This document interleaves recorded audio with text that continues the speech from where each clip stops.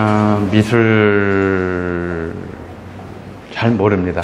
잘 모르, 모르는데 음, 미술 하시는 분들은 역사를 잘 아시는 것 같아요. 그래서 잘 모르는 사람이 잘 아시는 분들한테 강의하기가 굉장히 어렵습니다.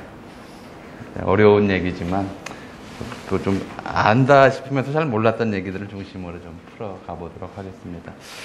제목이 에, 뭐 동양적 제국이라고 하는 건 좀 익숙하실 텐데 만국 공법적 제국은 좀 낯선 표현일지 모르겠다는 생각이 들어요. 경운궁이 참 희한하게 생긴 서울에 있는 5대 궁궐 중에서도 희한하게 생겨 먹은 궁궐인데 왜 이런 궁궐이 만들어졌는지 이런 궁궐을 만들었던 당사자, 뭐 당사자의 집주인이죠. 고종의 생각은 어디에 가 있었는지 또 그것이 이 나라와 또 이 도시 서울의 문화 현상에 어떤 영향을 남겼는지 뭐 이런 것들을 좀 종합적이라기보다는 그냥 산발적으로 좀 생각해 보는 그런 시간이 되었으면 합니다. 자, 먼저 제국이라고 하는 걸 좀 생각을 해보죠. 우리가 보통 제국은 서양에서는 뭐 임페리얼 이렇게 얘기를 합니다만 우리 제국은 동양 역사에서는 명료한 개념이 있는 나라입니다. 어, 우리나라는 대한제국 이전에 물론 이제 TV 드라마에서는 그냥 뭐 아무 때나 제 황제, 짐 이런 말 쓰지만 왕이 짐이란 말을 쓴, 쓴 적이 없고요. 왕을 폐하라고 불러본 적이 없습니다. 자기를 짐이라고 부르는 사람이 황제이고 그리고 왕은 그보다 한 등급 낮춰서 과인이라고 부릅니다. 고라고 부르거나 그렇게 돼 있죠. 황제에게만 폐하라고 하는 칭호를 헌정하고 왕에게는 전하라고 부릅니다. 세자는 저하, 영의정은 합하, 판서대감은 각하입니다. 그러니까 지금 우리가 대통령을 각하라고 부르는 건 참 웃기는 일이죠.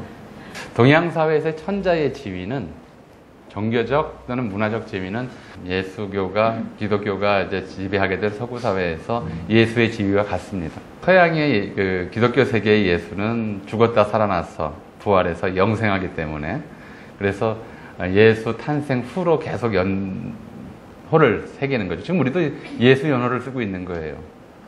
아너도메니 서력 기원이라고 하는 것이 예수 연호거든요. 올해는 2016년, 내년은 2017년. 예수 그리스도는 안 죽기 때문에 100년 후는 2116년이 되겠죠. 네, 동양도 마찬가지입니다. 천자 즉위 후를 초년으로 쳐요. 걸룡 원년, 걸룡 7년, 걸룡 20년 그렇죠. 걸룡 60년 다음 해가 걸룡 61년이 될지는 몰라요. 그 천자가 죽고 다른 천자가 즉위할지도 모르니까. 그렇습니다. 시간의 주제자이고 신의 계승자이고 신의 아들이 단 하나뿐인 거죠. 그게 이제 중국입니다. 그래서 제국은 이제 중화가 있다. 중화 하나뿐이다라는 것이고요. 그 중화 주변을 이적의 세계라고 불렀습니다. 특히 12세기, 13세기 이제 주자학이 정립된 이후에 어, 이민족 지배가 아니라 한족의 국가가 서 있었던 송나라 때, 명나라 때는 주자학이 굉장히 중심적인 사고 방식이 됐고요. 이 사고 방식에 따르면은 세계의 중심은 중화의 나라 중국이다. 이건 지리적 중심일 뿐만 아니라 문화적 중심이기도 하고 천자의 나라라는 것이죠. 그 천자의 나라가 중화이고, 그 다음에 그 외곽에 그 이적들이 있다고 봤습니다. 그 사람들의 사고방식은 중화의 나라는 나라 이름을 한 글자로 씁니다. 중국 역사 역대 왕조를 보면 다 아시죠? 하은주, 춘추전국 시대 다 거치면서 또 수당, 원명청 쭉 나가죠. 어, 그리고 이제 그 주변에 이적들은 전부 두 글자로 써버립니다. 우리가 아무리 우겨도 그 사람들의 기준에서는 두 글자 나라예요. 조선, 숙신, 말갈, 여진, 거란, 돌궐, 토번, 대리, 운남 등등 이런 식으로 붙여놨습니다. 나중에 17세기 이후에 이제 서구 세력과 접촉을 본격화하면서부터는 그쪽 나라 사람들은 이제 이적도 아니고 이적보다 등급이 더 낮은 금수다 그래가지고 세 글자로 부르기 시작합니다. 관행적이었어요. 아라사, 미리견, 연길리, 불란서, 토이기, 오지리 같은 이름들이 나오죠. 그런 위계 속에서 세계를 인식하는 것이 중화주의였고 그것을 이론적으로 명료한 것이 화이론이었습니다. 이 화이론적 세계관은 주자성리학과 함께 고려 말에 이제 들어오는데 고려 말 조선 왕조를 개청할 당시에 이 개청의 주역들을 신진사대부 주자학자라고 합니다. 근데 이게 두 그룹으로 나뉘어요. 정통론의 충실한 그룹이 있고 이제 화이론에서의 화이는 화일뿐만 아니라 정통과 이단, 그다음에 적과 서, 남과 여, 음과 야, 양과 음 등등으로 세상 모든 것들을 차별적으로 보는 세계관인데요.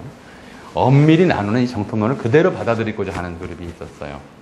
이게 제 정몽주를 중심으로 한 그룹이에요. 어, 고려말 삼은이라고 부르는 모근, 이색, 포근, 정몽주, 야은, 길제 이런 사람들이 16세기 조선 성리학의 주류가 되는데 이 성리학자들이 화이론을 같이 받아들였던 거죠. 그럼 화이론을 받아들이면 어떤 문제가 생기냐면 정통과 이단, 적과 서, 왕과 신화, 명분은 절대로 어긋나서는 안 된다는 것이 화이론의 중심이에요. 이 주자학이라고 하는 것은 남송 때 예, 주희라는 사람이 이제 어, 집대성을 한 학문칙이고요. 이 남송이라는 상황이 중국인들에게는 어떤 상황이었냐면은 여진족에게 강토의 반 이상을 빼앗기고 흠종, 휘종 두 황제를 인질로 잡히고 여진족에게 조공을 바치던 상황이었어요. 금나라에. 자존심이 굉장히 많이 상했죠. 그래서 이런 자존심이 상한 것을 문화, 문화적으로 극복하기 위해서 비록 지금은 중화의 국가인 송나라가 이렇게 굴욕을 겪고 있지만 어, 천지자연의 이치상 중화가 중심이 되고 이적이 변방이 되는 것은 자연스러운 현상이다. 그런 생각을 했고 그걸 체계화한 것이 화이론이에요. 문명의 중심이고 지리적 중심이고 역사의 중심이 오직 중국뿐이다라는 생각이었던 것이죠. 이것은 바뀔 수가 없다라고 하는 명분론을 굉장히 강조했고요. 근데 그거를 어, 고려 말의 유학자 그대로 받아들인 유학자들은 역성혁명을 용인할 수가 없었어요. 이민족이 침략해서 한 나라 왕조를 무너뜨리는 게 아니고 신하가 쿠데타를 일으켜서 왕위를 찬탈한다고 하는 것은 명분에 근본적으로 어긋나는 것이다. 이래서 정몽주 일파가 끝까지 이제 조선왕조 개청에 반대했던 것이죠. 반면에 조선왕조 개청에 협조했던 일부 이제 주자학자들은 주자학의 정통론은 받아들이지 않으면서 주자학에서 또 하나 강조한 것이 이거였어요. 어, 학이 습지, 생이 지지. 이상한 말이다 싶죠. 예. 어, 주작에서 가장 강조하는 문구가 이거 어, 문구 중에 하나가 이겁니다. 경물치지, 성의정심, 수신제 가치국 평천화. 이 수신이 뭐냐? 이건 하나의 이제 일련의 사람이 인격이 완성돼 나가는 과정을 의미해요. 몸을 닦는다라고 하는 것인데 행동거지를 바르게 한다는 것이죠. 수신이란. 근데 행동거지가 어떻게 해서 바라지느냐 하면 그 앞에 성의정심이 있습니다. 뜻을 진실하게 하고 마음을 바로 잡는 것이 몸을, 몸을 행동거지를 바르게 하는 전제인데 그럼 어떻게 올바른 마음을 가질 수가 있느냐? 그 앞에 게 또 경물치지입니다. 지식이라고 우리가 보통 부르는데 한자의 지와 한자의 식은 조금 다른 방식의 알을 지칭합니다. 지라고 하는 글자는 생김새가 화살 지자 옆에다가 입구자를 붙여놨어요. 좀 막 이야기하자면 화살을 입안에 넣고 찌르면 안 된다. 이런 것도 알미죠. 근데 이런 걸 학교에서 가르치지 않습니다. 뜨거운 것에 손을 대면 안 된다. 사람을 칼로 찌르면 안 된다. 이런 거 학교에서 열심히 가르치지 않습니다. 가르치지 않아도 사람으로 태어나서 응당 알아야 하는 것이죠. 그걸 생이지지라고 그러죠. 나면서 사람으로 나면서 저절로 알게 되는 영역이 알미 있습니다. 배우지 않고도 아는 거죠. 그 다음에 이제 공자가 학이 시습지라고 했습니다만은 식이라고 하는 것은 말씀은 소리, 음, 창과 이런 것들을 합쳐놓은 글자입니다. 남에게 배워야 알 수 있는 것. 일반적인 알에 대한 생각은 그랬어요. 첫째는 안 배워도 아는 영역이 있고 배워야 아는 영역이 있다라고 생각을 했습니다. 스승이 굉장히 중요했죠. 그런데 이 경물치지에서의 경물이라고 하는 것은 배우거나 태어나서부터 하는 것도 아니고 꼭 배워야 하는 것도 아니고 스스로 탐구해서 하는 영역이 있다라고 하는 거죠. 이게 이제 제3의 영역의 어, 지식을 생각하는 것입니다. 배워서 또는 저절로 아는 것이 아니라 탐구해서 하는 것을 경물치시라고 합니다. 스스로 연구해서 알고 그안 지식을 깊이 생각하고 그것을 자기 마음을 바로잡고 그러면 행동 거지가 바르게 되고 그러면 그 다음에 죄가 지고 평천화가 이루어진다라고 봤던 것이죠. 그건 일련의 과정이었어요. 이런 측면을 또 강조를 했어요. 왜냐하면 주자 자신이 남성의 진신, 그러니까 지방 지식인이었어요. 당대 송나라는 귀족이 대를 이어가면서 높은 벼슬을 하고 지방 지식인들은 아무리 지식이 높아도 등용되지 못하는 이런 신분제 사회였기 때문에 이게 부당하다고 봤던 거죠. 올바른 지식을 가지고 행동거지를 바로 닦은 사람이 통치를 해야 나라가 잘 된다라고 생각을 했던 것입니다. 자, 정도전 등은 이제 조선왕조 개청에 적극 협력, 협력했던 정도전 등은 이, 이 측면을 강조를 했어요. 왜냐하면 이제 연구에 따르면 정도전을 비롯해서 조선왕조 개창에 적극 참여했던 주자학자들의 상당수가 신분상의 당대의 기준으로 볼때 천민의 피가 섞여 있든가 아니면 서자든가 이런 식의 이제 하자가 있었다라고 이제 또 얘기가 나옵니다. 스스로 정통론을 받아들이기 어려웠던 것이죠. 그래서 이제 정통론은 조선 쪽의 정통론은 약해지고 주로 이제 이런 관립 아, 유교, 관립 어, 관주도의 주자학에서는 후천적 노력에 의한 지식의 취득 그리고 이제 어, 지배적 지위의 획득 이런 것들을 강조하는 이런 취지로 나갔다가 16세기 이후 이제 이성계가 역성혁명 왕위를 찬탈한 사람이라고 하는 컴플렉스가 문화적으로 사라지면서 주자학을 어, 고지고대로 있는 그대로 통째로 흡수하려고 하는 태도가 확산됩니다.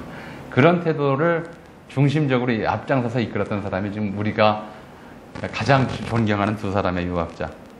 뭐 여러분들이 존경하시는지 모르겠습니다. 어쨌든 5천원짜리하고 1천원짜리 지폐는 좋아하시죠. 네, 이두 분이 16세기에 들어와서 화이론을 포함하는 주자학 체계를 만들었습니다. 그런데 화이론을 받아들이고 나니까 딜레마가 생겨요.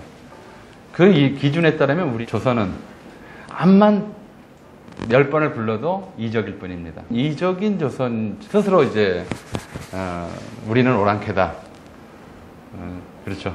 우리는 오랑캐다. 이렇게 어, 자의식에 집어넣으면서 공부한다는 것이 굉장히 괴로울 수밖에 없었을 겁니다. 그 괴로움을 면하기 위해서 16세기 이제 주자학자들이 만들어낸 개념이 소중화라는 개념이에요. 우리는 비록 변방의 이적이지만 문화적으로는 중화에 뒤질 것이 없는 작은 중화다. 다른 이적들과는 다르다라는 차별화 의식을 가졌던 것이죠. 그러면서도 이제 중화에 대한 이제 깍듯한 예의 이런 것들은 어, 저버리려고 하지 않았습니다. 그랬다가 이제 이 중화 소중화 의식을 근본적으로 한, 한 단계 더 바꿔버린 것이 병자호란이었습니다. 명나라는 중화인 것을 문화적으로나 실질적으로나 인정하는데 그 명나라를 멸망시키고 중원의 패자가 된 청나라는 이건 우리와 같은 여진족 오랑캐 종족이란 말이죠. 이들이 중화의 계승자일 수는 없다. 영토는 비록 우리가 동쪽 구석에 있다 하더라도 치우쳐 있다 하더라도 실제로 중화의 명맥은 우리가 계승했다라는 의식을 통해서 이 오랑캐 의식, 변방 의식을 극복하려고 했던 것이죠. 일부 지식인들이 아니 주류 지식인들이 그랬어요. 이것이 처음에는 초기에는 북벌론 어, 오랑 청나라를 다시 몰아내고 명나라에게 중화, 중원을 되돌려준다 이런 걸로 나섰다가 뭐 굳이 그럴 거 있느냐 우리가 명나라의 정통 계승자로서 살면 되지 않겠느냐 이런 식으로 남았던 거죠. 그래서 공식적으로는 뭐 중국과의 관계 때문에 어쩔 수 없이 강희, 옹정, 걸륭, 가, 정 이런 중국 연호를 썼지만 민간에서는 계속 숭정 연호를 썼어요. 마지막 명나라 마지막 황제 연호를 써서 심지어 숭정 삼갑자 숭정이 죽은 지 180년 이런 식의 이제 연호를 계속 쓴 거죠. 그 시대 유교 지식인들에게 숭정은 예수였어요. 숭정 황제는 왜 죽었지만 영생하는 거죠. 숭정연으로 이런 식의 이제 중화 개성 의식이 나오고 그러면서 문화적으로 우리가 중화다라는 생각은 이제 이런 이제 진경산수화가 우리 땅을 그린다, 중국을 그리지 않고 현실에 우리 땅을 그리는 화풍으로도 나타났고요. 어, 뭐 다양한 형태로 이제 이런 진, 어, 진경시대 의식, 이제 조선 중화 의식은 다양한 형태로 어, 나타났습니다. 개항기에 한국에 왔던 일상에 왔던 서양 사람들이 그런 이제 이야기를 합니다. 한국은 그 자체로 하나의 박물관이다. 왜? 중국에서는 이미 300년 전에 사라진 의복이 조선에서는 그대로 있다. 사실은 우리가 지금 기억하고 있는 어, 신랑 신부들 입던 한복들, 어, 사모관대 이런 것들이 중국 박물관 가보시면 명나라 때 의복 그대로예요. 명나라 때 관복을 조선 초기에 채용을 했고 중국에서는 이제 청나라가 오면서 변발로 두 발을 개혁 어, 바꾸고 복장도 청나라식 복장으로 다 바꿔버렸지만 조선에까지는 그걸 가, 간섭하지 않았기 때문에 조선의 관복이라든가 신랑식 어, 예복이라든가 하는 것은 명나라 때 복식을 그대로 유지하고 있었던 것이죠.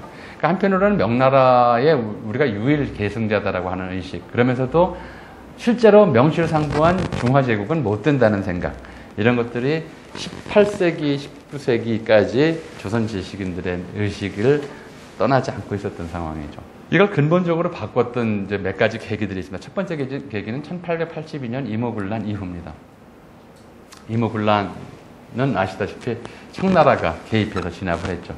이걸 진압한 이후에 진압군의 일원으로 왔던 위안스카이 원세계라는 사람이 1884년 갑신정변 진압을 계기로 어, 실제로 총독처럼 행세를 했어요.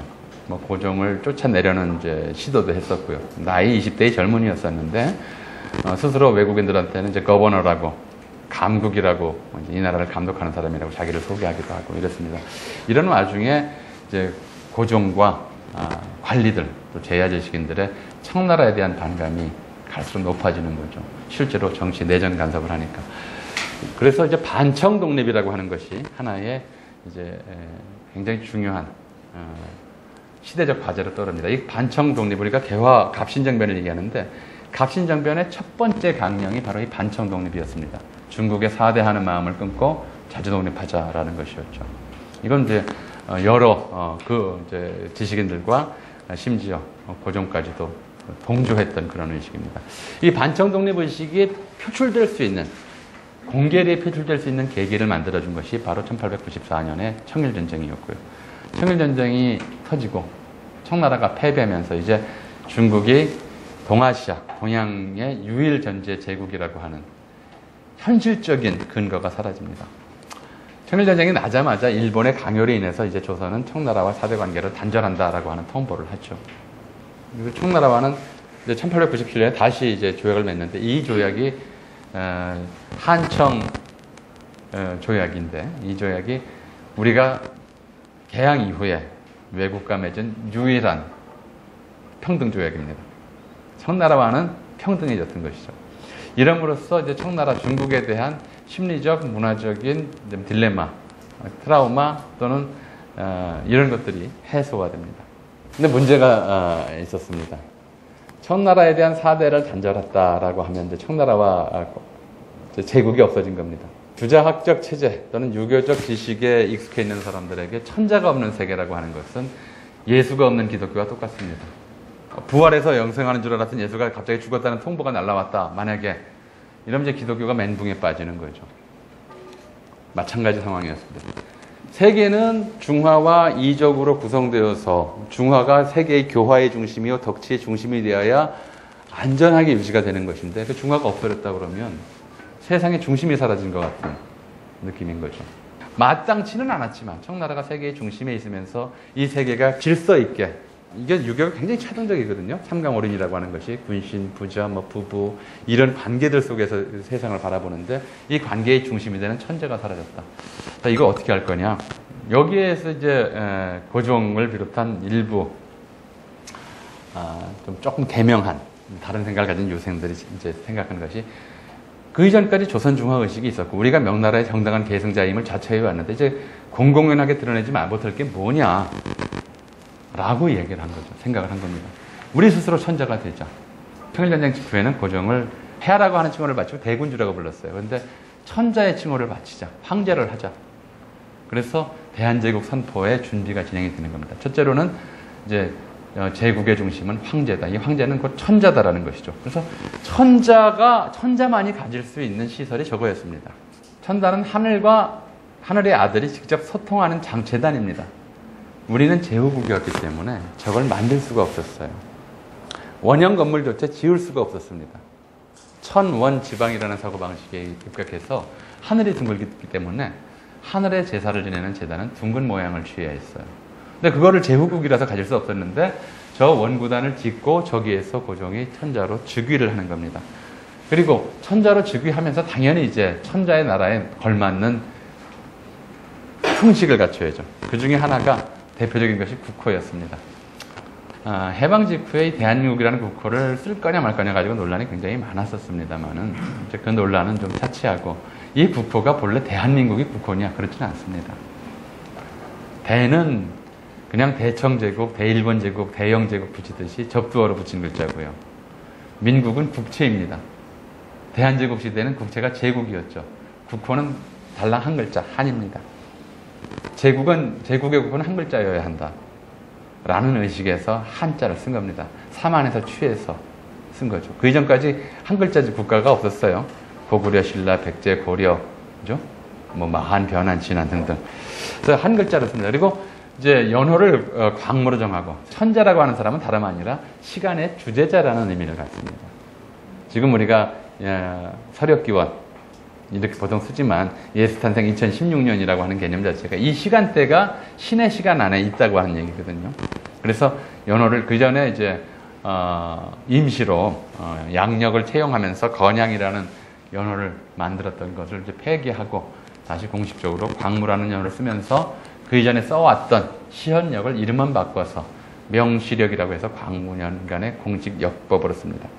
새로운 시간, 새로운 재단, 새로운 황제, 새로운 나라 이름 이런 것들을 통해서 이제 중화가 없어진 것이 아니라 우리가 실질적으로 중화를 계승해 왔었는데 그것을 공식적으로 공표하는 것이다.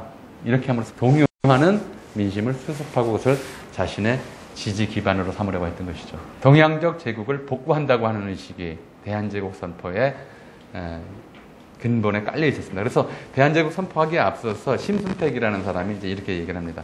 우리나라가, 이건 조선을 말합니다. 세워진 지 500년 동안 훌륭한 임금들이 대를 이어오면서 공적을 거듭 빛내고 덕화를 거듭 폈는데 예약, 전장, 의관 제도는 한당, 송나라 황제들의 제도에서 가감하고 한결같이 명나라 시대를 표준으로 삼았으니 빛나는 문화와 두터운 예의가 직접 일통에 접하고 있는 것은 오직 우리나라뿐입니다.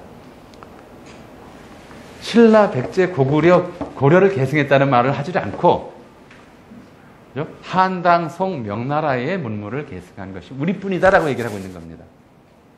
이게 대한제국 선포의 하나의 배경이었습니다. 근데 이거는 좀 웃기는 일이에요. 왜냐하면 우리 국내의 지식인과 이런 식의 제국과 번병과 제후국과 이런 관계들 또 이제 시간, 연호 이런 거 쓰는 것들에 대해서 워낙 익숙해 있었던 한국의 지식인과 일반 백성들에게는 굉장히 설득력 있는 얘기였지만 국제사회에서는 전혀 통하지 않는 얘기죠. 우리가 명나라를 계승했다. 그럼 누가 인정하겠어요? 그죠? 우리 명나라를 계승한 나라는 우리 조선뿐이다. 아무도 인정하지 않습니다. 인정받기 위해서는 다른 틀이 필요했습니다. 다른 스킴이 틀이 필요했던 것이죠. 이건 이제 조병세가 같이 얘기한 겁니다. 만국공법을 살펴보니 자주권을 행사하는 각 나라는 자기 뜻대로 스스로 존호를 세우고 자기 백성들로 하여금 추대하게 할 수 있지만 다른 나라로 하여금 승인하게 할 권리는 없다고 하였으며 또 그 아래의 글에는 어떤 나라에서 왕을 일컫거나 황제를 일컬을 때에는 자기 나라에서 먼저 승인하고 다른 나라는 뒤에 승인한다고 했습니다. 대체로 존호를 정하는 것은 자신에게 달렸기 때문에 자립이라 하였으며 승인하는 것은 남이 하기 때문에 승인하도록 할 권리는 없다고 한 것입니다. 남에게 요구할 권리가 없다고 해서 자기 스스로 존호를 세울 권리마저 폐했다는 말은 듣지 못했습니다. 이 때문에 왕을 일컫거나 황제를 일컫는 나라는 다른 나라의 승인을 기다리지 않고 스스로 존호를 정하는 것입니다. 말은 길지만 이야기는 간단합니다. 우리가 제국을 선포하면은 미국이나 영국이나 일본이 이걸 어떻게 볼 거냐 이걸 인식한 겁니다. 중국을 계승해서 제국을 선포한다는 얘기는 할 필요가 없는 것이고 우리가 제국이고 고종이 킹이 아니라 엠페러다 이렇게 얘기를 하려고 한다면 이게 외국의 승인이 필요한 것이 아니냐. 근데 공법상 보자면 먼저 선포를 하고 그 다음에 추후에 승인을 받는 것이 순서다. 이 승인을 얘기합니다. 다른 나라의 교류 관계에서 어떤 격으로 교류할 것이냐. 이 점을 고민하고 그래서 이제 서양 열강의 승인을 받는 제국이 되어야 한다. 이건 동양적 세계관, 동양적 제국관과는 전혀 관계가 없습니다. 근대 이후에 성립된 이제 세계 체제 내에서의 황, 제와 왕과 이 위계 속에서 우리를 어떻게 배치할 것이냐는 문제를 고민했던 것이고 이러려면 외국의 승인을 받기 위한 외국 기준에 맞는 조건을 갖춰야 한다 하는 생각이 나오는 거죠. 앞에 것은 우리 전통 사상의 기준에 맞는 제국이고 Imperial Korea는 국제 기준에 맞는 것이었습니다. 자, 역사적 기준, 전통적 기준, 관념적 기준과 국제적 기준, 형식적 기준 이 두 가지를 함께 만족시켜야 제국의 내실과 제국의 외형을 같이 갖출 수 있다라고 하는 것이 당시 대한제국을 선포할 때 1897년 당기, 당대의 고종과 고위 관료들, 집권 관료들 그리고 어, 유생들의 공통된 고민거리였습니다. 1899년에 이 대한국 국제라고 하는 당대의 헌법을 만든 공포합니다. 몇 가지만 보죠. 세계 만국에 공인되어 온 바 자주 독립하온 제국이다. 세계 만국에 공인됐다고 스스로 선언한 겁니다. 근데 그 사이에 사실은 공인을 했어요. 대한제국이라고 하는 나라를 이걸 만들 때도 이제 이쪽에 있는 외교관들은 웃었, 비웃었습니다. 서양 외교관들이 자기들끼리 모여서 이 나라가 스스로 제국을 선포하고 한다고 하는데 참 우스꽝스러운 일이다라고 비웃었습니다. 비웃었지만 그래도 외교 관계를 통해서 몇몇 나라가 이제 국호를 바꾸는 것을 승인을 했기 때문에 봉인된 나라, 자주 독립한 제국이다가 첫 번째입니다. 국제적으로 봉인된 나라다. 이건 이제 어, 청나라를 개성해 명나라를 개성했다는 이런 얘기 전혀 없는 거죠. 할 필요가 없는 거예요. 그리고 두 번째로는 이전부터 500년간 전해오시고 이후부터는 만 년 동안 불변할 전제 정치다. 이건 이제 여기에는 동양적 어, 제국관이 그대로 담겨 있습니다. 섞여 있는 것이죠. 그 다음에 대한국 대왕제기업서는 무한한 군권을 항의하옵나니 공법에 이르는 바 자립정체다. 6조는 법률 제정, 반포 집행 명령, 만국의 법률 효방하사, 법률 개정, 대사 특사 가명 복권, 이른바 자정윤례. 입법, 사법, 행정의 정권을 가진다, 뭐 등등을 이제 담아 나왔던 것입니다. 대한국 국제 단계에서는 동양적 제국이라고 하는 건 이건 헌법이니까 거의 내세울 필요가 없이 각국의 공인을 받은 나라다라는 걸 선언하면 그만이었습니다. 그런데 공인이라고 하는 것이 이 말로 공인하는 것과 내용적으로 공인하는 것과 실제로 인정하는 것 사이에는 상당한 괴리가 있을 수밖에 없었던 것이죠. 인정을 제대로 받고 싶다. 왜냐하면 이 당시에 대한제국은 사실은 청나라의 사대관계에서 떨어져 나왔고 1894년 청일전쟁 이후에 일본이 엽속 집어삼기로 했던 것을 러시아, 독일, 프랑스의 삼국 간섭을 일단 막아놓고 그리고 러시아와 일본 사이에 각축장이 되어 있었습니다. 이 나라가 오래 독립을 유지할 수 있을 것이냐는 굉장히 내부적으로도 회의적이었고요. 세계적, 국제적으로도 회의적이었습니다.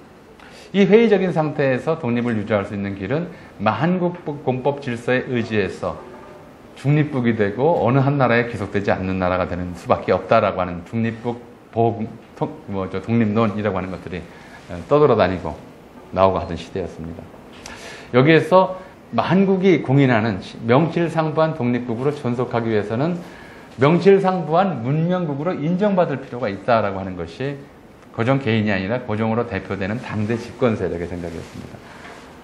어떻게 하면 세계 각국에 이 나라가 더 이상 낙후한 중세 국가가 아니라 세계 열국가 뭐 어깨를 나르냐는 문명국의 일원임을 입증하고 보여줄 수 있을 것인가. 그것이 독립을 지키는 길이요. 자신의 황권을 지키는 길이다라고 하는 것이 고종의 머리를 가득 채우고 있었던 것 같습니다. 마침 목표를 설정하고 실행하고 그리고 그렇게 인정받을 수 있는 증거를 만들 계기가 생겼어요.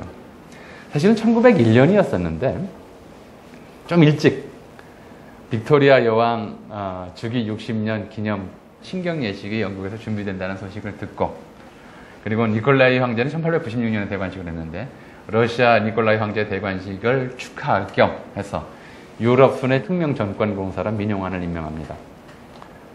민용환이 이제 그 영국을 거쳐서 그 러시아 통해서 귀국하는 장거리 세계 일주 여행을 하는 거죠. 밑에 사진은 당시 이제 어, 빅토리아 여왕 주기 60주년 기념 축제가 벌어졌던 런던 시내입니다. 민영환이 돌아와서 복명을 합니다. 일국의 온 나라 백성들이 벌써부터 들떠서 축하 준비를 할 뿐만 아니라 이때에는 전 세계 열강의 특사들이 모여와서 전부 여왕의 즉위 60주년을 축하한다. 국제적 경축을 한다는 거죠. 구체적으로 시간은 좀 빕니다만 저는 이때 이미 고종이 아 그렇구나 라고 깨달아 생각했던 것 같아요. 사실은 조선 역대 임금 중에서 즉위 40년을 넘은 왕이 넷밖에 없습니다. 숙종, 영조, 순조, 고종이에요. 근데 즉위 40년을 특별히 기념한 적이 없어요. 궁궐 안에서는 40주년이라고 해서 잔치를 벌이지만 궁궐 밖에 이런 걸 가지고 무슨 특별히 기념식을 한 적이 없습니다. 외국 특사 말도 안 되죠. 그런 적도 없습니다. 중국 황제 즉위 몇 주년 그러면 여기서 특사를 보내지만 조선 왕 즉위 몇 주년 내가 중국 특사 오질 않습니다. 근데 이제 이미 만국 공법적 세계에서는 어느 한 나라 황제 또는 왕의 즉위 몇십 년이 국내적 축제일 뿐만 아니라 국제적 축제가 될 수도 있다는 사실을 알았던 거예요. 보니까 몇 년 안 남았어요. 1902년이 고종즉위 40년이자 나이 51세가 되는 해였습니다. 본래 51세는 뭐, 저, 요즘, 저, 저도 몇 년 전에 지났는데 굉장히 서글픈 해예요. 근데 어, 그 당시 그 시절 사람들에게는 노인이 된다는 것은 굉장히 자랑스러운 일이었습니다. 노인이 되면 제일 좋은 점이 뭐냐? 뭘 것 같아요? 네, 잔소리 안 들어도 된다는 겁니다. 잔소리 듣, 할 사람이 없어지고 자기가 잔소리 터부을 대상만 생- 남는 게 이제 노인이라는 거죠. 그래서 보통 이제 평민들은 양반들은 나이 70이 돼야 공- 국가 공인 노인 자격증을 줘서 기로소라고 하는 기관에 입소시켰어요. 근데 왕은 일반인과 달라야 한다고 해서 좀 조금 일찍 들어갑니다. 어떤 왕은 60에 들어가고요. 어떤 왕은 50에 들어갑니다. 고종은 자기는 황제니까 어, 남들보다 좀 더 일찍 들어가겠다고 해서 이해의 기로소라고 하는 곳에 들어갑니다. 이 두 가지를 양대 경축이라고 했습니다. 이 두 가지를 쌍대 경축, 양대 경축이라고 해서 이걸 다 기- 계기로 해서 한편으로는 외국 열강의 특사들을 초빙해서 이 나라가 얼마나 지금 이제 발전한 나라, 문명국으로 문명국의 자격을 갖췄는지 보여주자. 한편으로는 국내에 있는 온 백성들을 다 서울로 불러들여서 다는 아니지만 힘 있는 사람들, 여론을 주절만 하는 사람 서울로 불러들여서 제국의 황제 탄생을 축하하고 제국 시민으로서의 제국 백성으로서의 자존심을 갖도록 하자. 이런 계획을 이런 구상을 했습니다. 이때 이제 목표년도는 1902년이 되는 거예요. 1902년 가을에 축제를 할 테니까 그때까지 준비를 하자.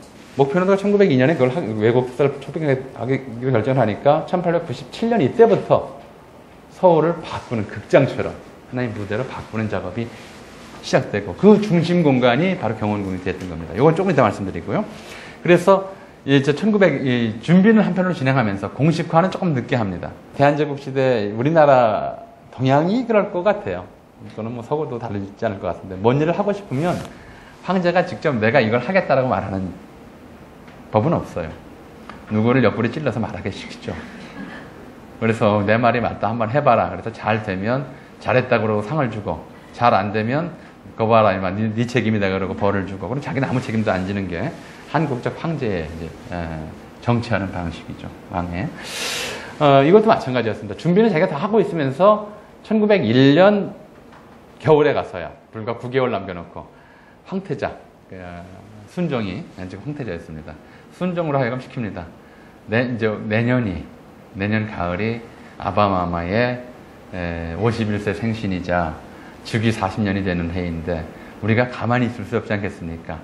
대대적인 경축 행사를 한번 합시다. 이게 조선왕조 사상 처음 있었던 조선왕조 사상이 아니라 한반도의 정치사 국가가 생긴 이래 국제 행사를 치르기로 결심한 최초의 일입니다. 이게 예상대로 됐더라면 우리나라 최초의 국- 대규모 국제 행사가 열렸을 거예요. 그해 이제 11월 달에 즉위 40년 망록순 친경기념 예식을 거행하겠다고 결정을 하고 그 다음 날 바로 친경 예식 사무소라는 것을 설치를 하고 친경 예식 사무위원장에 바로 빅토리아 여왕 즉위 60년 특명공사로 갔다 왔던 민영환을 앉히는 겁니다. 그러니까 이미 얘기는 다 끝나고 있었고 준비는 진행되고 있었던 건데 형식상 관제만 그렇게 이제 그때 만들었던 것이죠. 그리고 그 5월 달에 가서 미국, 영국, 프랑스, 일본, 청나라 당시에 이제 강대국들한테 특사를 파견해달라고 요청을 합니다. 이 중요한 행사니까 보내달라고. 여기서 이제 국내에 있었던 각 공사들이 회합을 열어요. 무슨 지 생일잔치 하는데 별것도 아닌 게 특사 파견까지 요청하느냐. 우리가 그냥 특사 자격으로 참가하자. 처음에는 그렇게 됐었어요. 무, 무시하고 묵살했었죠. 그러거나 말거나 정부에서는 계속 갖고 공사들한테 열렬히 간곡하게 제발 좀 보내달라고 요청을 합니다. 그리고 여기에다가 어, 일본 한반도를 둘러싸고 일본과 러시아 사이에 이제 각축이 심해지면서 러시아가 어, 이저 담합을 깨고 그 이전까지 공사했다가 지금 러시아에서 주된 역할을 맡고 있었던 베베르를 특사로 파견하겠다고 통보를 해옵니다. 베베르가 와서 이제 여기 와서 고종하고 좀 여러 번 만나고 그래요. 그러니까 일본이 어 이대로 있다가는 베베르 어, 러시아한테 좀 밀리겠다. 우리도 어, 친왕, 그러니까 일본 천황의 친척이죠. 친왕 한 분을 특사로 파견해달라. 일본도 파견하겠다고 얘기를 합니다. 영국도 주한 영국 공사보다 주일 영국 공사가 등급이 훨씬 높았어요. 일본에 있는 중국 그 영국 공사를 대신 특사로 파견하겠다. 청나라도 어, 특사를 파견하겠다. 이렇게 요- 이- 어, 응답을 해옵니다. 그래서 예식 특사 파견이 확정됐다 얘기를 듣고는 이제 어, 신이 나서 예식 절차를 확정을 했습니다. 그리고 이제 8월에 가서 일본, 러시아, 영국, 천국이 특사를 파견하겠다 홍보를 해왔고요. 그랬는데 20일 전에 공식 행사 개최 20일, 20일 전에 좀 사고가 터집니다. 의주에서 발생했던 콜레라가 서울에까지 들어왔습니다. 당시 콜레라는 굉장히 무서운 병이었어요. 오죽하면 우리가 호환 마마보다 무섭다 이런 말 쓰는데 이 호환이 호랑이한테 물려가는 게 아니라 사실은 호열자, 콜레라를 말하는 거였어요. 가장 무서운 질병이었습니다. 1820년대부터 본래 이제 인도 지역의 풍토병이었는데 영국인을 따라서 전 세계로 이 질병 병균이 확장돼서 1820년대부터 우리나라에 창궐하기 시작해서 대략 10년 주기로 어, 사람을 잡아갑니다. 1895년에 콜레라가 워낙 심했었고요. 또 1900년대, 1906년인가 7년인가 콜레라가 워낙 심했습니다. 뭐 서울에서 서울 인구가 한 20만 명일 때 서울에서만 만 명 이상이 이 병으로 죽고 했었으니까 그러니까 이렇게 심각한 질병이 도는데 외국, 외국 비빈들을 모시고 또 수많은 사람들을 모아놓고 축제를 할 수는 없다. 그래서 고정이 울며 겨자 먹기로 어, 다음에 봄으로 미룹니다. 6개월간 연기한다. 그래서 1903년 4월 30일로 연기를 했던 거죠. 어, 재정사가들은 이게 대한제국 멸망에 굉장히 중요한 계기가 되었다고 얘기를 합니다. 어, 떤 거냐면 1902년 하는 굉장히 사실은 흉작이었어요. 흉년이었는데 국가 1년 예산보다 더 많은 것, 더 많은 액수를 빚까지 져가면서 사실은 이 예식 준비에 쏟아 부었었습니다. 그렇게 엄청난 돈을 쏟아 부어서 예식 준비를 했는데 행사 준비를 했는데 콜레라 때문에 연기를 하자니 얼마나 눈물이 났겠어요. 1903년 봄에 치르기로 했는데 생일 잔치는 그냥 간단하게 했어요. 해서. 그래서 1902년 진연과 관련된 그림들은 여러 개 남아 있죠. 근데 이번에는 영춘왕이 두 창에 걸립니다.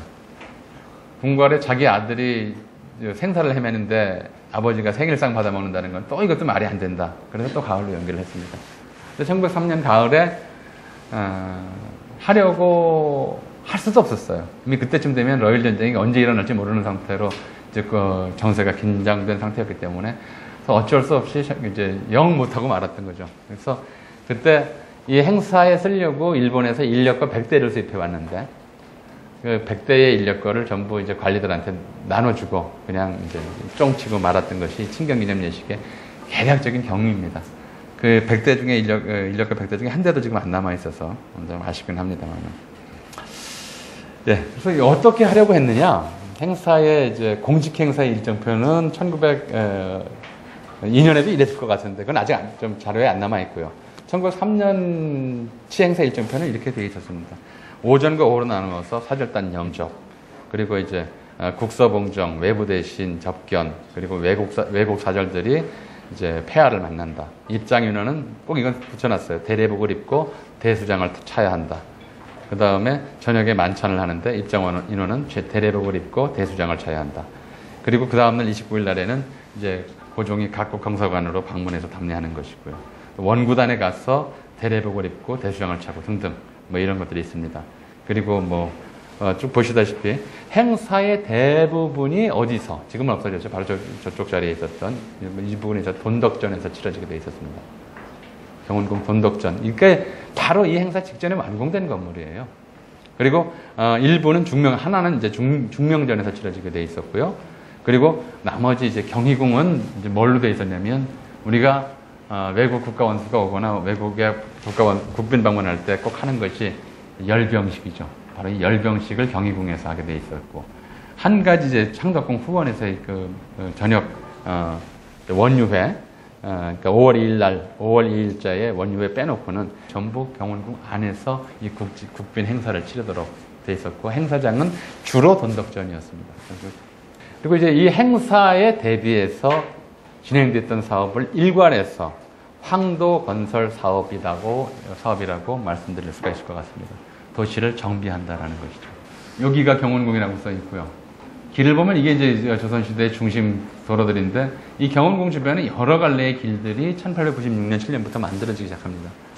시각적 종점이자 동선의 종점, 모든 그 시선이 향하는 곳을 경, 경, 운궁으로 이어지는 도로들을 여러 개를 새로 만들어서 지금도 바로 이 앞, 시청 앞 도로가 서울에서 가장 많은 도로가 교차하는 지점이 됐죠. 그때 만들어진 도로의 원형입니다. 저렇게 만들므로써 형식적으로는 당시 절대주의 국가 도시들에서 유행, 어, 유행했던 환상 방사 선형 도로망을 이 경운궁 대할문을 중심으로 해서 만드는 공사가 진행이 됩니다. 그리고 더 중요한 것은 도로의 체계와 모양을 근본적으로 바꾸는 공사가 1896년 말에 이제 경운궁으로 환궁 돌아오면서부터 경운궁 정 한편으로는 경운궁을 정비하고 한편으로는 도시 자체를 무대화하는 극장처럼 꾸미는 그런 사업이 외빈 방문에 앞서서 진행이 되는데 그런 어, 혁명적인 변화가 도시경관에서 나타납니다. 이건 종로입니다. 왼쪽에 있는 것이 1899년 이전의 종로입니다. 엄밀히 말하면 1897년 이전의 종로예요. 그리고 이것은 1900, 1899년 이후의 종로입니다. 이 같은 종로인데 이 길을 보고 나서 이사벨라 버드 비숍이 이렇게 얘기를 했습니다. 1894년의 기록이에요. 나는 이 세상에서 가장 더러운 도시가 베이징인 줄 알았다. 서울을 보기까지는 이라고 단서를 붙였습니다. 가장 더러운 도시보다 더 더러웠다. 남산에 올라가서 먼저 봤어요. 서울을 봤더니 저기가 이제 main street인 것 같은데 종로가 어, 흰옷 입은 사람들이 꾸물꾸물거려서 멀리서 보기에는 흰 물결이 흘러다니는 것 같았다. 그리고 가까이 가서 봤더니 어, 어 이제 이, 이, 얘기가 나오는 거죠. 어, 아, 이 종로는 조선 초기 태종 때 이미 국중의 중심 대로로서 선, 어, 만들어졌고요. 그 좌우에는 어, 정부에서 지은 공랑, 행랑들을 지었습니다. 그리고 행랑을 지어서 상인들한테 일부는 관청으로 쓰고 대다수는 상인들한테 불화해서 시전 상, 상인들이 상업 건물로 쓰, 도록 되어 있었죠. 상인 시간이 흐르면서 이제 기, 처음엔 분명히 에, 공량으로 지었기 때문에 기와로 지었을 것으로 추정이 되는데 시간이 흐르면서 이제 무너지고 불타면 다시 짓고 이제 상인들이 직접 해야 했으니까 그래서 어느 사이인가 초과로 다 바뀌어 있었습니다. 길은 쭉 뻗은 대로였을 것인데 이렇게 한번 새로 지을 때마다 그렇게 해서 그런 방식으로 삐뚤삐뚤 길을 좀 침범해서 집을 지으면서 길이 좀 좁아졌고요. 게다가 18세기, 19세기에 서울 상업이 발전하면서 이 상점으로도 모자라서 상가 건물 앞에다가 가 건물들을 짓는 일들이 빈번해졌습니다. 지금도 동네에 구멍가게 하나 있으면 그 앞길은 인도가 아니죠. 거기는 파라솔이 놓이고 뭐 의자가 놓이고 평상이 놓여서 뭐 이게 실제로는 도로인데 구멍가게 가게 땅처럼 사용이 되고 있, 습니다 이게 한국적 뭐 풍토죠. 뭐 다른 나라라고 안 그러는 건 아닙니다만 그렇게 해서 이 상업용 가건물로 지은 것들을 당시 용어로는 가가라고 불렀습니다. 가건물이라는 뜻이에요. 이 가가가 변해서 지금의 가게가 된 거죠. 가게란 말은 원래 가건물이라는 뜻입니다. 그리고 사이즈가 구멍만 해서 구멍가게인 거죠. 요즘도 그렇습니다만은 가게 앞에 자주 자주 들락거리는 것이 트럭입니다. 짐을 내렸다 실었다 해야 되니까. 옛날의 트럭은 요즘처럼 이렇게 그 질소산화물만 뿜질 않았어요. 질소산화물이 더 해롭긴 하지만 옛날 옛날의 운송 수단들은 말똥과 소똥을 뿜었습니다. 이, 물론 이제 런던도 1700년대까지는 상황이 같았어요. 한 100년 전까지 상황이 같은데 이사벨라 버드 비숍은 그거를 이제 자기는 못 본 세대니까 와서 봤더니 좁은 골목에 사람이 흰 옷인지 아니면 때탄 옷인지 모르는 색깔의 옷을 입고 다니는데 길에는 똥, 그 말똥 소똥으로 가득하고 거기를 맨발인지 신발을 신었는지 모르는 그 집신이라고 하는 게 신었는지 벗었는지 잘 구분이 안 되는 신발이거든요. 그런 신발을 신고 마구 밟고 다니니까 이게 세상에서 제일 더러운 도시다라고 생각했던 거죠. 실제로 이, 이 주변 시전가가 그, 저, 상점 가니까 있는 건 있고 없는 건 없죠. 세상 모든 것이 다 있는데, 한 가지가 확실히 없었어요. 화장실. 그러니까, 뭐 요강 놓고 있다가, 그냥 아무 데나 이제 여기다 퍼, 퍼붓고 하는 게, 왜뭐 말똥 옆에 사람 똥 들어가나, 마나, 뭐, 그거. 이런, 이런 식의 도시 경관이었던 거죠. 그걸 1897년부터 본격적으로 이제 단속하기 시작합니다. 1897년 9월에 내부령이라고 하는 1896년 9월에 내부령이라는 걸 내세워서 남대문동과 종로 주변은 이제 이미 있던 가가들 중에서 도로의 폭을 침해한 것은 완전히 헐어라. 물론 보상금 줍니다. 헐고 길을 원래의 폭을 회복하고 더불어서 이 길가에 있는 건물들은 지붕의 높이와 양식을 일정하게 해라. 순식간에 이렇게 바뀐 거예요. 불과 3, 4년 만에. 똑같은 데인데 여기는 초가집 덩어리인데 여기는 기와집이 쫙 늘어서 있는 거죠. 기와 건물들이. 그리고 거기에 1899년에 전차를 넣습니다.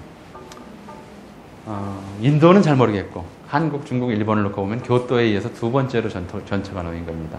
일본에도 당시에 교토에만 전차가 있었어요. 그, 아, 그 아시아 두 번째라고 얘기하는데 아시아 두 번째로 전차가 놓이면서 이 전차는 뭐 콜브란이 놓았느니 뭐니 일본인들은 그런 식으로 왜곡했었지만 실제로는 이걸 필요로 했던 것은 바로 고정이었어요. 그 문명 국가들에서 구미 문명국에서 자랑하는 교통수단이 뭐냐? 전차다. 우리가 갖다 놓으면 이것도 문명국 얘기를 들을 수 있겠냐? 당장 이렇게 이 사람 와가지고 이렇게 보거든요. 아시아에서 가장 깨끗하고 문명한 도시. 불과 5년 만에 다시 왔을 때 이렇게 바뀌어 있었습니다. 전차를 놓음으로써 이제 도시의 경관을 바꾸고 도시의 축을 바꾸고 도시의 이미지를 바꾸는 사업을 했던 것이죠. 이 전차는 뭐 굉장히 많, 많았습니다만은 그리고 이 전차가 다니도록 하기 위해서 어, 동대문에 발전소, 화력 발전소를 건설하죠. 1899년부터 이제 발전을 개시합니다. 그 이전에 뭐 향원정에 전기 발전소가 들어왔다고 하는데 그거는 이제 발전기 하나였고요. 이거는 이제 어, 엄연한 발전소가 시설이 돼서 전기 사업, 전차 사업뿐만 아니라 민간 전등 사업도 병행합니다. 밤이 극복된 시대. 사실은 문명 세계와 비문명 세계, 20세기 초반 또는 벽두 또는 19세기 말 기준에서 봤을 때 문명과 비문명을 가르는 가장 확실한 기준은 뭐겠어요? 우리가 우리 세대가 겪었던 일인데 초원이 발전했다고 했을 때 발전의 가장 대표적인 기준은 두 가지입니다. 하나는 밤에 전등불 들어오는 거, 하나는 그 앞, 마을 앞길에 아스팔트 포장되는 거. 아스팔트까지 바라지도 않아요. 시멘트로라도 포장이 되면 그건 이제 이게 근대화된 거예요. 근대의 상징이었습니다. 문명의 상징인 전등이 한성 전기회사에서 이제 노는데 이제 자꾸 이제 콜브란 미국 회사가 지었다고 이제 외국에서 이해를 하는데 이렇게 되어 있습니다. 엄밀하게는 한성 전기회사는 고종이 개인 출자해서 만든 회사입니다. 회사의 사장은 누구를 맡겼냐면 당시 서울시장 한성 판륜 이채연에게 맡겼습니다. 이 한성 전기회사와 콜브란 보스틱 상사가 한성전기회사가 콜브란 보스틱 상사의 철도 부설과 운영을 맡깁니다. 두 개의 회사가 이렇게 있었던 거예요. 한성전기회사는 한국 회사, 이걸 철도 부설 및 저, 그 운영을 맡은 회사는 콜브란 보스틱 상사. 그리고 콜브란 버스틱 상사가 철도를 부설하자마자 이제 한성전기회사가 철, 전차를 운영을 했던 겁니다. 근데 콜브란 버스틱 상사의 공사비를 다 주지 않았다. 또는 공사비가 부족하다. 이래가지고 서로 이제 소송이 붙어요. 소송이 붙는데 러일 전쟁 이후 일본이 이걸 일방적으로 미국에 유리하게 해줌으로써 한성 전기 회사를 통째로 미국 쪽에 넘겨주고 그래서 한미 전기 회사가 됐던 거예요. 근데 이거는 고정 중심의 이제 개혁 사업이었고 당시 한성전기회사는 이 철도 부설권뿐만 전차 부설뿐만이 아니라 한성 내 전등 사업, 수도 사업, 은행 설립 사업 등등 모든 특권들을 다 가지고 있었어요. 이걸 중심으로 서울을 개조하겠다고 하는 그런 구상을 했던 것이죠. 그리고 저렇게 이제 일단 도시의 main street 왜냐하면 경복궁이 전궁일 때는 지금의 광화문로가 main street예요. 궁궐 앞이. 근데 궁, 주원궁을 경운궁으로 옮겨버리니까 이건 조금 더 설명을 드리겠습니다만은 이게 대한문은 동향문입니다. 동서간 도로가 main street가 되는 거죠. main street, 종로를 main street로 바꿔놓고 그걸 저렇게 깨끗하게 꾸며놓은 거예요. 꾸며놓고 그 주변에다가 이런 것들을 배치합니다.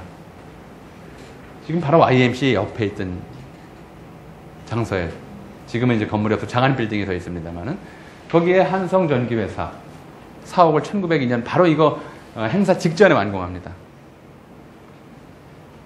한성정비에서 짓고 거기에 시계탑을 딱 세워요. 뭐 아무것도 아니죠. 뭐 흔한 거니까 시계탑. 그럴까요? 저게 섰을 때만 해도 저게 뭔지 모르는 사람이 98%예요. 2% 되게 많이 쳐준 거예요. 시계 보는 법을 아는 사람이 없어요. 누가 보겠어요? 지금 지금이야 뭐 유치원 때부터 시계 보는 법 가르치지만 숫자도 못 읽는데 저 바늘이 뭔지를 알 수가 없어요. 그래서 저거는 이른바 서양식 문명의 표지로서 세워놓은 거죠. 시계탑을 떡하니 세웠습니다. 다들 서양식 건물을 지었고요. 그 다음에 이 종로 한복판 가운데 한가운데 원각사 토에 그 전에는 이 주변에 처가집들이 가득 있었어요. 이 초가집들이 주로 뭘 해서 먹고 살았냐면 미투리 심는 삼는 사람들이 이 주변에 모여 살았어요. 미투리골이었어요. 그래서 이, 이 집들에서 나온 그, 그 밥하는 연기가 계속 어, 나와서 이 원래 이 백탑인데 대리석 흰 대리석 탑이었는데 탑이 새카매졌다. 지금도 이제 그이 원각사 탑에 그을은 것은요 뭐 폭, 탄을 맞아서 그런 것이 아니라 밥 짓는 연기 때문에 그런 겁니다. 그랬던 것인데 그 민가들을 다 1800, 이게 좀 설명이 잘못되어 있어요. 탑벌공원 가면은 그 앞에 1896년 미국인 고, 영국인 고문관 맥레비 브라운의 건의로 만들었다 아닙니다. 1899년부터 이제 민가들을 철거하고 공원 조성을 시작하고요. 팔각정은 1901년에 가 2년에 가서 완공합니다. 공원이 최종 완공된 건 1902년입니다. 역시 1902년 그, 그 해를 목표로 해서 새로 공원을 시설합니다. 본래 유럽에서 공원이라고 하는 것은 산업화에 따라서 도시 환경이 악화되고 이른바 도시가 폐병의 온상지가 되면서 공원 내 도시 내에 허파를 만든다. 숨통을 열어둔다. 그래서 공원의 다른 별명이 도심의 허파입니다. 허파를 만들기 위해서 만들었던 것이 유럽의 공원이에요. 그런데 당시 서울에는 그런 굴뚝 산업이 없었어요. 저게 필요하지 않았어요.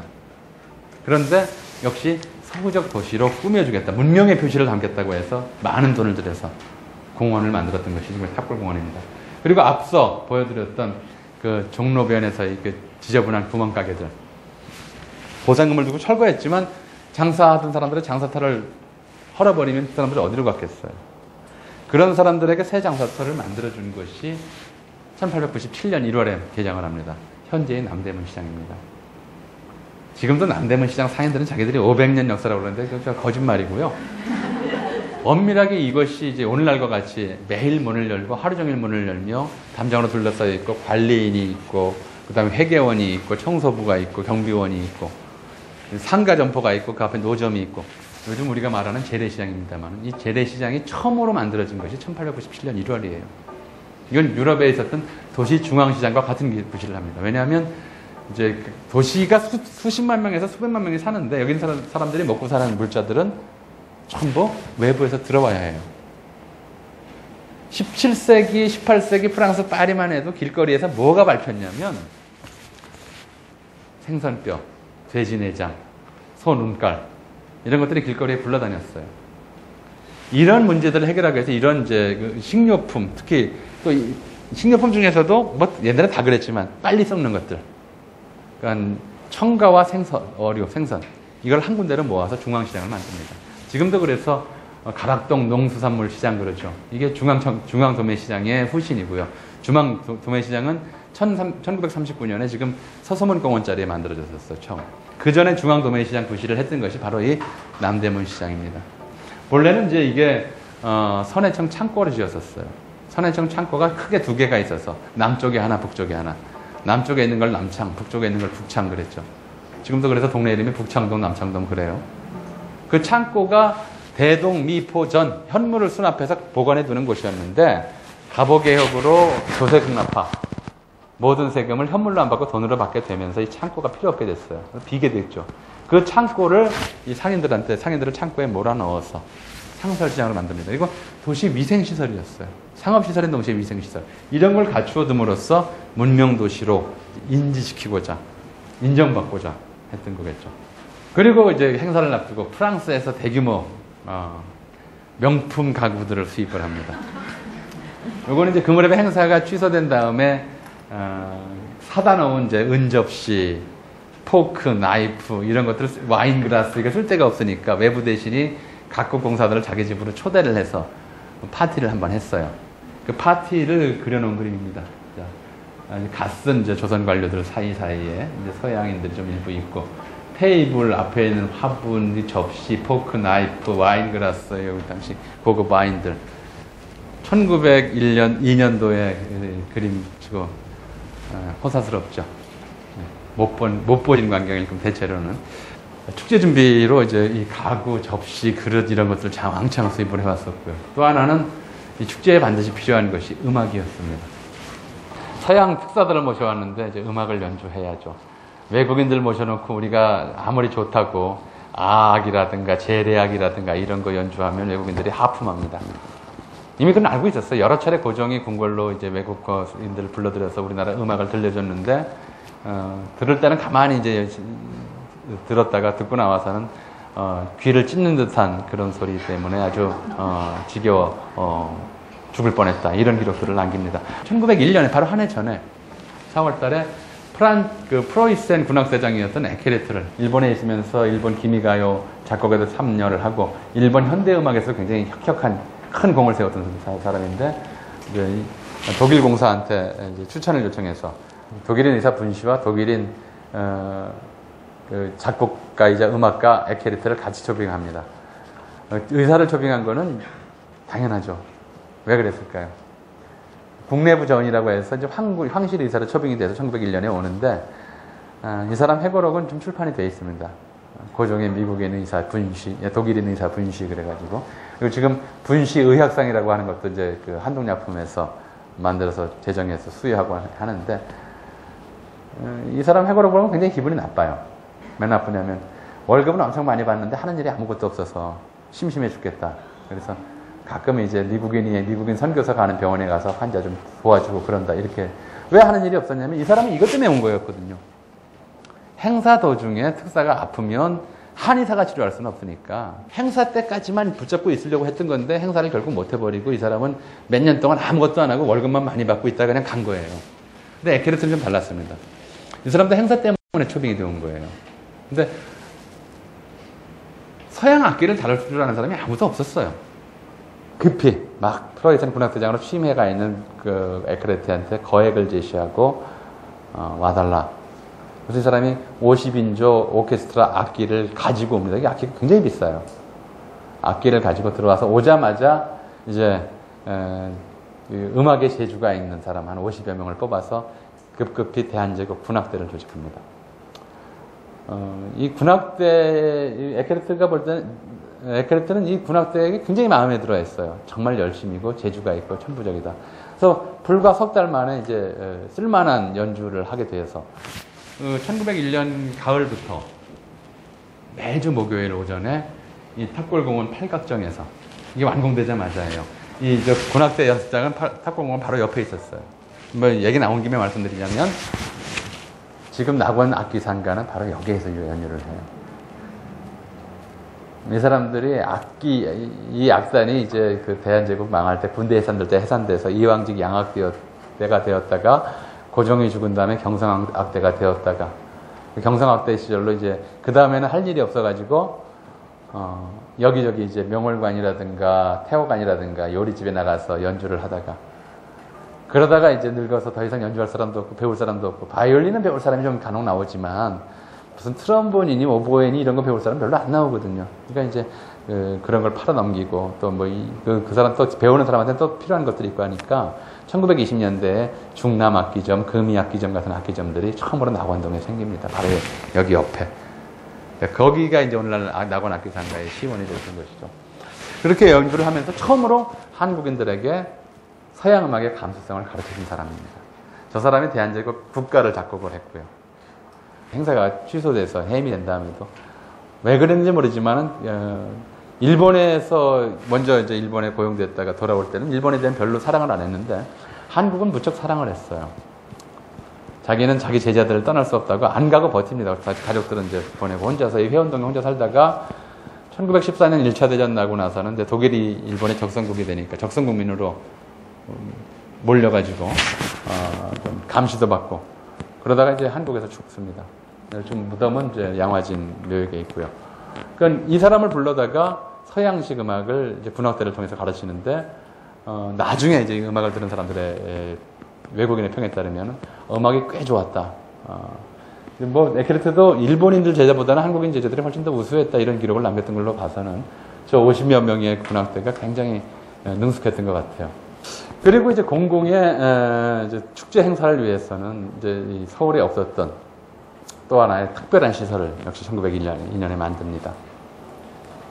본래 도시의 핵심 시설은 고대로부터 뭐 나중에 기회가 되면 이런 걸 말씀드릴 수 있을지 기회가 있을지 모르겠습니다만 고대 도시부터 뭐 현대 도시까지 도시를 가장 도시답게 만드는 시설은 뭐냐면 도시에 살 때 도시의 삶으로서 행복감을 느끼는 연유가 뭐냐면 어, 수시로 미칠 수 있게 해준다는 거예요. 사람은 또 그래야 살아요. 그래서 좀 그 평소에 자기와는 다른 자기를 발견하는 거죠. 뭐 술 마시기, 춤추기, 노래 부르기 이런 것들 속에서 이제 평상시에 그 근엄하고 점잖고 얌전하고 남 눈치 보고 이러던 자기에서 남 눈치 안 보고 자기가 세상에서 제일 잘난 것 같고 그죠? 뭐 이런 사람으로 순간순간 변하거든요. 그런 이제 경험을 하게 해주는 것이 바로 도시의 핵심 시설들입니다. 극장, 경기장, 요즘으로 치면 나이트클럽, 술집 이런 것들이죠. 근데 유교 국가의 수도로 만들어진 서울은 이 그당 동시대의 세계 수도들과 비교해 보면 아주 특징적으로 이게 없었어요. 경극장, 가부키좌, 무슨 그 뭐 콘서트홀 이런 게 전혀 없었어요.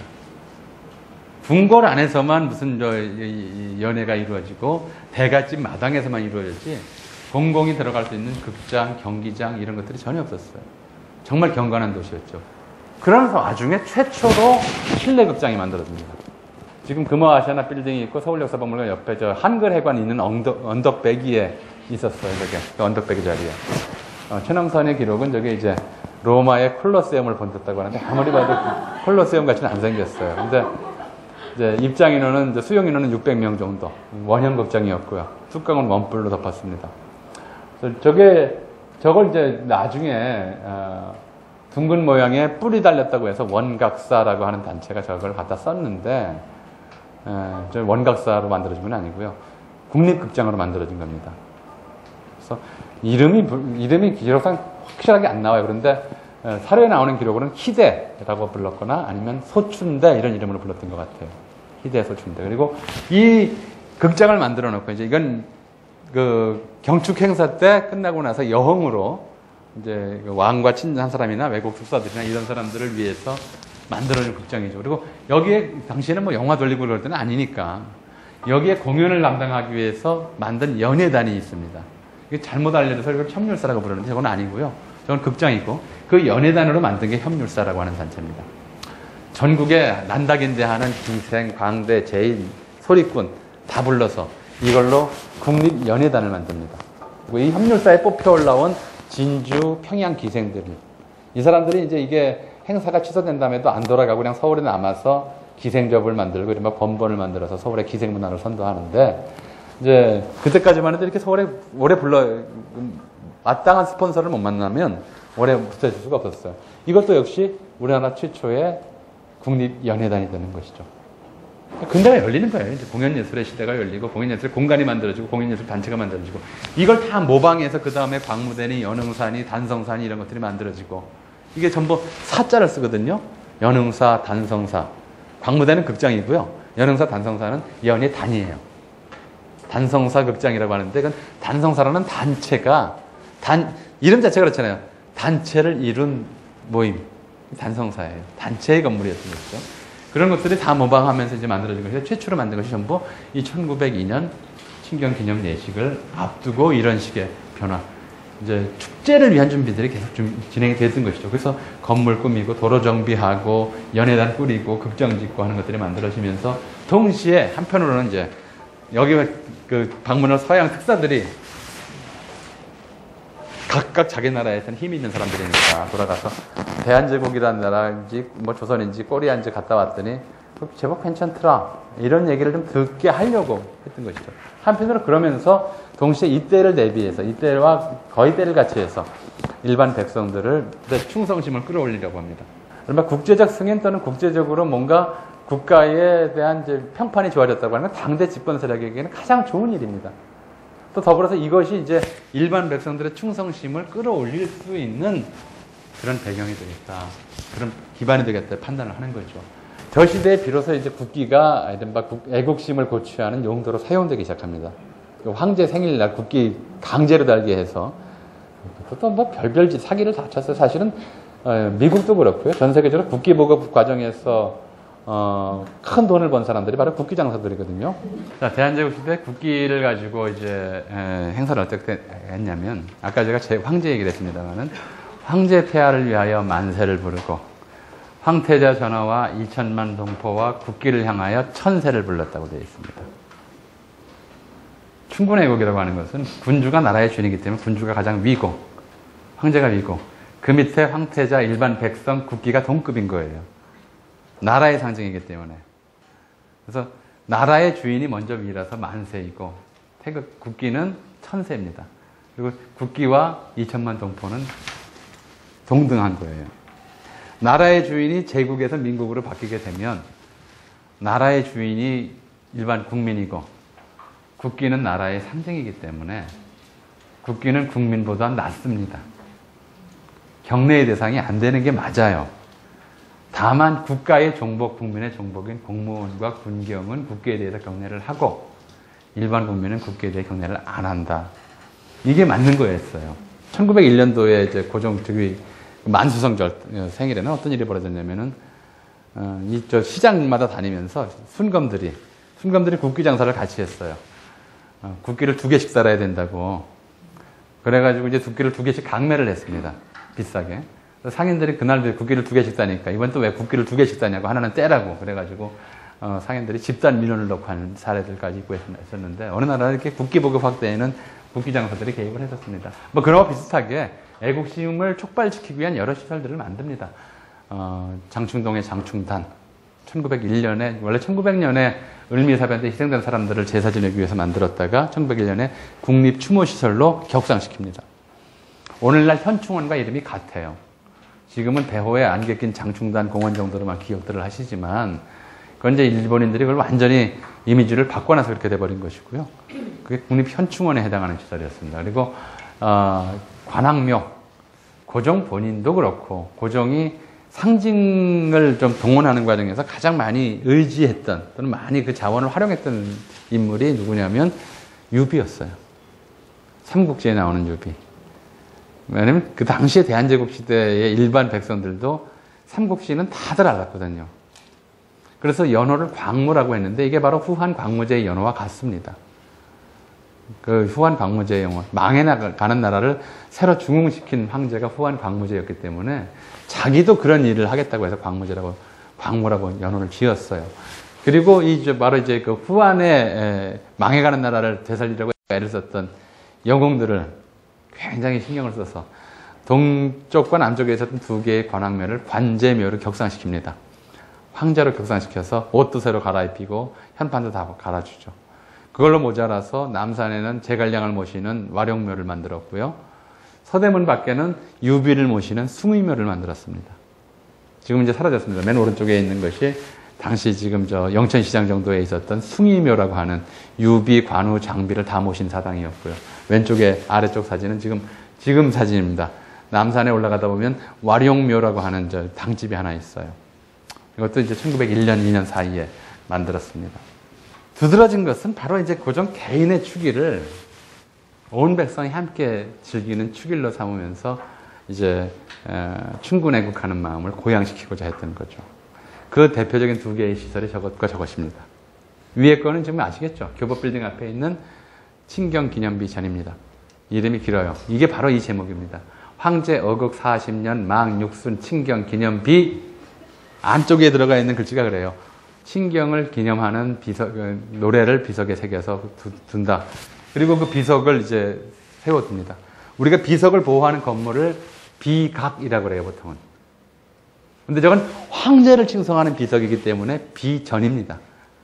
건물에 등급이 있다고 말씀드렸죠. 폐하, 전하, 어, 저하, 합하 이렇듯이. 건물에도 제일 높은 건물이 전, 당, 합, 각, 재, 헌, 뭐 이런 식의 이름을 갖습니다. 그러니까 황제를 칭송하는 비석이, 비석을 모신 건물이기 때문에 이건 비각이 아니라 비전이라고 부르는 겁니다. 한 집단이 저걸 만들어요.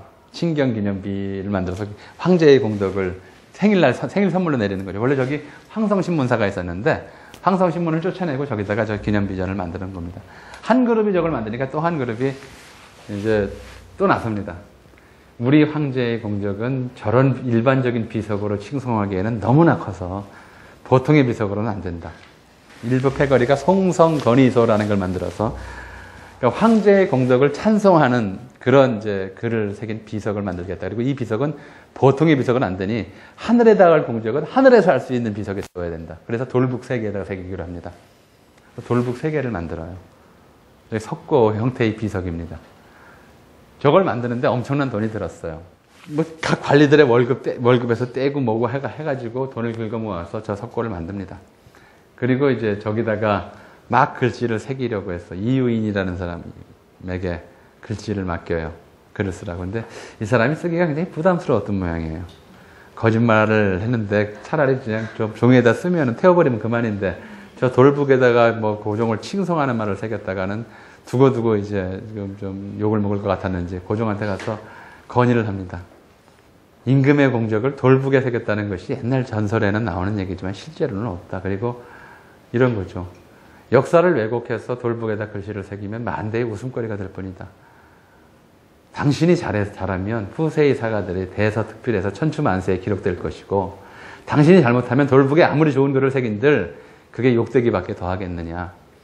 그래서 고종이 그 말을 듣고 그래서 저기다 그러면 아무것도 새기지 마라. 그래서 아무 글자도 안 새긴 채로 남아있게 된 겁니다.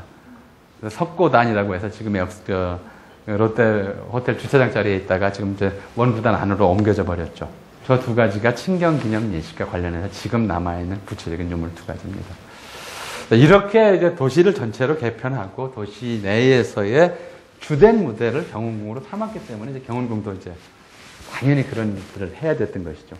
앞서 말씀드렸듯이 친경 기념 예식의 행사들 대부분이 바로 지금 이쪽 뒤쪽 자리에 있었던 맨 왼쪽 위에가 돈덕전이라는 건물입니다.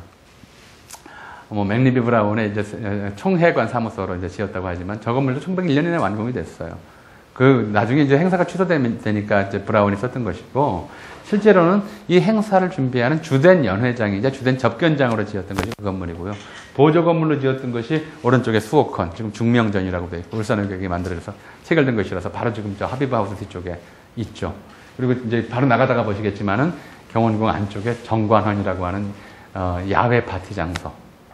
저기서 뭐 이제 별별 소문들이 많죠. 고종이 커피를 즐기고 댄스를 즐겼다는 등 뭐 이제 이런 얘기들이 많습니다만 저 건물도 사실은 친경 저 어, 기념 예식 때 외국인들한테 그 연회장으로 만들었던 겁니다. 그리고 1901년에는 드디어 그 전에 있었던 구성헌이라는 건물이 있던 자리에 구성헌을 헐어버리고 예, 이제 이, 이 덕수궁 안의 랜드마크인 석조전 공사를 시작합니다. 이 석조전을 지으면서 무슨 얘기를 하냐면 아, 1901년 그 겨울에 각국 공사에게 아, 대한제국 외부에서 공문을 보냅니다. 당신네 나라 백성들이 서울에 들어와 사는 이상해야 자기가 원하는 곳에다 원하는 집을 짓는 것은 당신들 마음이다. 다만 대정동 한 곳만은 황궁에 있는 존엄지지인이 이곳에서는 2층 이상의 건물을 짓지 않도록 해달라. 공문을 보내요. 근데 그 공문을 보낸 시점이 바로 이 속조전 착공한 직후입니다. 그 이전까지 좀 보시면 어, 이 보종이 경운궁을 정, 왕궁으로 어, 황궁으로 새 황궁으로 정할 당시에 위에 러시아 공사관, 저 앞에 프랑스 공사관, 이쪽에 독일 공사관, 그 다음에 아주 초라하지만 그 중에서 제일 초라한 게 이제 바로 이 하비바우스 미국 공사관이었죠. 각국 공사관들이 늘어서 있어서 경운궁이 오히려 초라하게 보였습니다. 그 초라하게 보이는 그 경관을 근본적으로 바꾸기 위해서 속도전을 3층 건물로 지으면서 이 주변에 더 이상 다른 고층 건물을 짓지 못하게 함으로써 이제 경관적 위계를 확보하려고 했던 것이 이 공문의 내용이었습니다. 그리고 한편으로 이렇게 외국 귀빈들을 맞이해서 이 궁궐에 서양인들의 기준으로 볼 때도 부끄럽지 않다라고 하는 걸 보여주기 위한 시설들을 집어넣으면서 한편으로는 이 2층의 중화전을 어마어마하게 짓습니다. 동양적 건물을 또 지어요. 이건 저 서양식 건물이 여기를 찾아올 외국인들에게 보여주기 위한 건물이라면 이 2층의 중화전은 외국인만이 아니라 보다 더 직접적으로는 내국 시민들, 내국 백성들한테 이제 1층짜리 그 전각이 아니라 이름도 같아요. 자금성의 정전 이름도 중화전이거든요. 같은 이름의 중화전을 지으면서 중화전을 지어놓고 이제 황제의 나라임을 이제 드러내려고 지었던 거죠. 저렇게 해서 한편으로는 서양식 건물을 치우고 한편으로는 이제 중국에 있는 황궁 전각에 부럽던 굉장히 큰 건물을 이렇게 올려 세워서 저것도 1902년에 완공이 돼요. 그러니까 1902년 이미 그 신경기념 예식은 모든 그 건축 행위라든가 도시 건설 사업이라든가 뭐 연예인 조, 조직 사업이라든가 이거의 목표 연도였어요. 됐는데 하고 났더니 문제가 생겨요. 전통 궁궐로 치자면 경운궁은 권력 자체가 비좁은 데다가 저런 걸 서양식 건물을 또 이것저것 우겨 넣었더니 더 비좁아진 거예요. 궁궐에 꼭 필요한 시설들이 있어요. 이제 전통적인 그 동양 제국의, 제국의 상징으로 보자면, 그러니까 제후국 기준으로도 좁은데, 첫째로는 공식 행사를 치르기 위한 정전이 있어야 하고요. 일상적인 정사를 보기 위한 편전이 있어야 합니다. 그리고 왕이 뭐, 저, 뭐, 가끔 대신들 소견하고 불러서 밤늦게까지 얘기하다가 그냥 돌려보내고 자, 자, 자는 데 쓰는 침전이 있어야 되고요. 그리고 왕비전인 중궁전이 있어야 합니다. 그리고 과부가 된 선, 어머니를 모시기 위한 대비전이 있어야 하고요. 왕의 후계자를 키우기 위한 동궁이 있어야 합니다. 이게 기본적으로 다 갖춰져야 궁궐의 틀이 되는 거예요. 나머지 권례각사라든가 후궁이라든가 이거는 양보한다 쳐도 반드시 필요한 시설들이 이건데 이걸 다 넣을 수가 없어요. 이 궁궐 안에 고종이 뭐 저 퇴위한 다음에 머물렀던 무슨 뭐 덕흥전이 어떻고 이 중화전 사로 지은 게 어떻고 하지만 뭐가 있습니까? 중궁전이 있어요. 뭐저 어, 대비전이 있어요. 동궁이 있어요. 지울 데가 없어요. 석조전에다 대고 뭐 그 왕과 안비가 살았던 집 이런 황당한 이야기를 좀 한동안은 써붙이곤 했었어요. 그런 게 없거든요. 그러다 보니까 이 궁궐로는 안 되니까 이제 궁궐 경역을 넓히기 위해서 1897년부터 굉장히 많이 애를 씁니다. 첫째로는 저기 저 어, 지금 이제 시립미술관 자리 그 저 시립미술관하고 이제 서울시청 별관이 있는 그 자리, 그 시의회에 있는 자리 거기 독일공사관이 있었어요. 독일공사관을 교섭해서 그, 그 땅을 사가, 사고 독일공사관 딴 데로 보냅니다. 그리고 이 길, 지금 이제 우리가 덕수궁 돌담길이라고 하는 이 길을 그냥 막아버리고 터석을 궁궐로 합치려고 했어요. 그랬더니 이 안쪽에 있는 프랑스, 러시아, 미국, 영국 이쪽 공사관이 그 길 없으면 우리 못 산다. 반대를 하는 바람에 그래서 그거를 한 궁궐로 쓰려던 계획이 일시 이제 좀그 잘못 틀어지는 바람에 거기다가 이제 다리를 놨죠. 문교라고 해서 이 경운궁에서 바로 이제 이쪽 새로 확보한 독일 공사관 부지를 통과하는 이 다리를 놓습니다. 여기까지 하나의 권력으로 쓰는 거죠. 근데 아마 여기는 제대로 못 써서 평리원을 갖다 놨고요. 법원을 갖다 놨고. 그 다음에 또 하나 좀 중요한 것이 바로 이 경희궁, 이건 좀 어, 경복궁에서 장면입니다만은 경희궁을 뭘로 쓰려고 했냐면 열병식장으로 쓰려고 했죠. 원수부를 갖다 놓고 거기 군인들을 훈련을 시켰습니다. 그리고 이 행사가 끝난 다음에 경희궁을 복원해서 같이 경희, 경, 그 비좁은 경운궁하고 쓰려고 했던 것 같아요. 그래서 경희궁과 경운궁을 놓는 이 거대한 육교를 넣습니다. 그걸 홍교라고 그랬어요. 러일 전쟁 이후에 일본이 가장 먼저 허문 것도 이 다리입니다.